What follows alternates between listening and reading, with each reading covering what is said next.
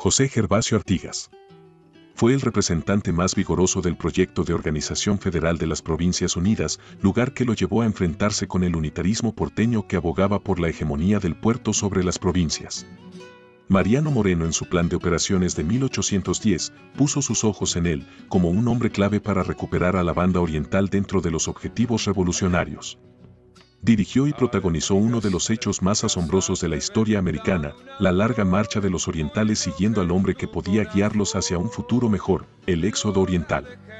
Mil carretas, 16.000 personas, ganado y pertenencias cruzan el río Uruguay después del levantamiento del sitio de Montevideo en 1812. Luchó por la incorporación de la banda oriental a la revolución junto a las Provincias Unidas, combatiendo contra los ingleses primero, realistas españoles y el imperio luso brasileño después.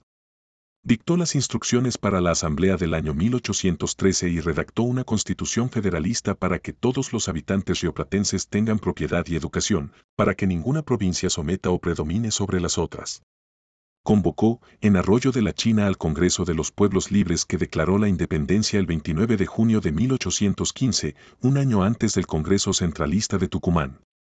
Allí sancionaría un reglamento provisorio que se considera la primera reforma agraria de América antes que Leen Cole, antes que Zapata, que repartió tierras en partes iguales y que hizo que los más infelices sean los más privilegiados desafió el poder directo de la capital porteña, rechazando cada ofrecimiento de separar su tierra natal como un país aparte, estrategias de la élite porteña para frenar su prédica y siga sumando a más provincias dentro de su liga federal. En 1820 la batalla de Tacuarembó significó, tras tres años de resistencia, la derrota de Artigas que abandonado por sus jefes y perseguido por su lugarteniente, fue condenado a la soledad y al exilio en Paraguay muere pobre y olvidado, en compañía del negro Ancina, su fiel amigo y cronista, el esclavo que había comprado para otorgarle la libertad. Dijo el mismo Ancina que sus últimas palabras fueron, mi caballo, tráiganme mi caballo. La imagen del prócer de la independencia en la República Oriental del Uruguay es arbitraria y oculta su máximo logro, instalar el ideario de unión de provincias que formen la gran nación americana, bajo una constitución que respete las autoridades y culturas de todas las regiones rioplatenses. Su mayor victoria ha quedado plasmada en una república federal incompleta, donde continúan las batallas por las soberanías provinciales que siguen dependiendo de fondos y de poderes concentrados en esa misma capital porteña.